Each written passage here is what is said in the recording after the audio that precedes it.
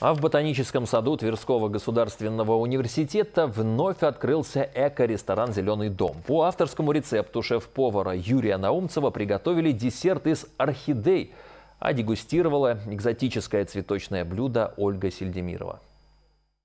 Сегодня ботаническая кухня у нас кухня ангельская. И мы будем удивлять белоснежным ангельским десертом с такими же белоснежными орхидеями-дендробиумами. Необычайно стильная орхидея, которую называют цветком страсти. Из-за роскошного цветения, удивительного, слегка сладковатого аромата и неприхотливости – это одно из любимых комнатных растений у цветоводов. Это гость очень издалека. Родина фаленопсиса, дендробиума фаленопсиса Новая Гвинея.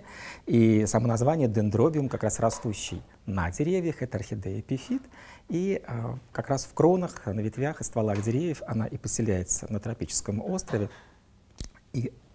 Первые европейцы, которые это заметили, дают ему такое название. Дендробиум называют съедобной орхидеей. В Японии и Сингапуре из них делают соус. В Таиланде цветы жарят во фритюре. А многие европейские повара украшают ими торты и десерты. В эко-ресторане «Зеленый дом» тоже десерт по авторскому рецепту Юрия Наумцева.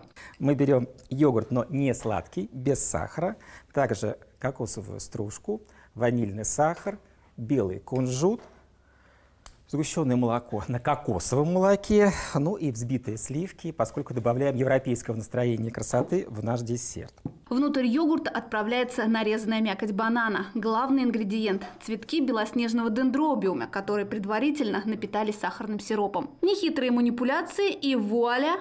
Легко, быстро, нежно, белоснежно и очень вкусно.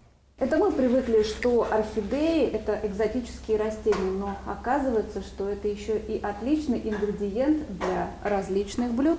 Ну что, снимем пробу?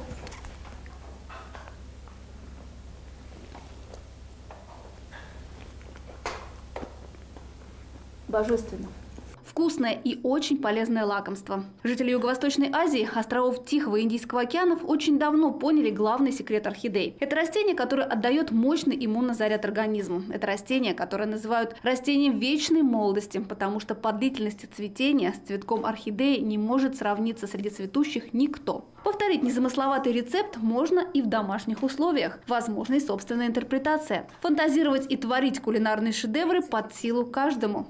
До встречи на ботанической кухне. Ольга Сальдемирова, Сергей Федотов, Вести Тверь.